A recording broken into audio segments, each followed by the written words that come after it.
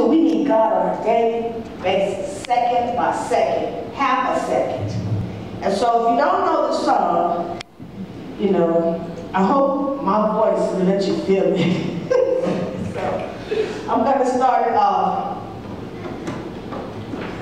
I need